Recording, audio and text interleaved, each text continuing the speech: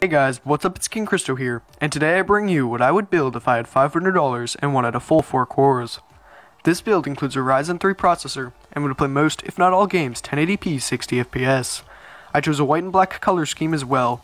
Now before we get into the video, I remind everyone that if they have any questions or concerns, go join my Discord server, the link is down below. Also, if you are feeling generous and like to pledge a donation, my Patreon is also down below. Any money will go to me actually making an awesome editing PC, now without further ado, let's get into the build. For the processor, I chose the Ryzen 3 1200. This is a 4-core 4-thread processor, performing similarly to an Intel Core i5. The big difference is that this processor costs the same as a Core i3 at just $110.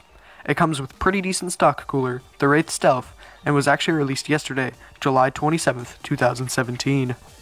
The motherboard in this build is the ASRock AB350M. This is a good micro ATX motherboard that supports overclocking. This motherboard also has two DIMM slots. It is good enough I.O., and for the price of just $65, this motherboard will get the job done. I chose 8GB of Crucial Ballistix RAM for this build. This runs at 2400 MHz and costs $60 at the time. It has a CAS latency of 16 and populates just one of the two DIMM slots on our motherboard. It also has a white heat spreader to match the color scheme of this build. Having a heat spreader means that we will see no overheating issues within the future. This is also fairly low profile RAM, so adding a large heatsink will not be a problem later on. For storage, I chose a Western Digital Caviar Blue 1TB hard drive. This is a very reliable drive from a good company, and most likely will not let you down. It runs at 7200 RPM, as well as having 64 megabytes of cache, meaning it's no slouch for a hard drive. It currently costs $50. Although no SSD was added to this build, for $55 more, I suggest also purchasing a 120GB SSD or so for your boot drive, although it is not needed. To play games, I chose MSI's GTX 1050 Ti Aero for our graphics card.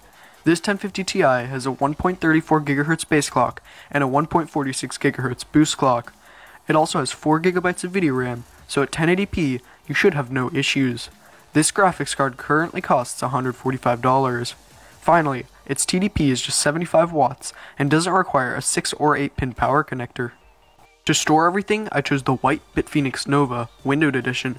This case supports up to ATX form factor, so our micro ATX board will fit without a problem.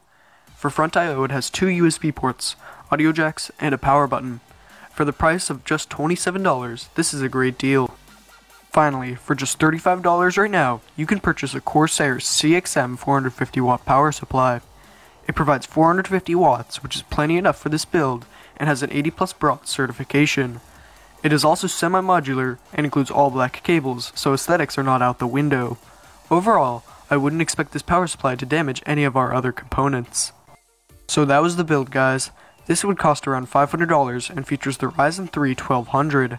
Before I end the video, I remind everyone to join my Discord server, the link is down below. Thank you for watching until the end. If you enjoyed the video, remember to comment, like, and consider subscribing. This is King Christo signing off. Peace out.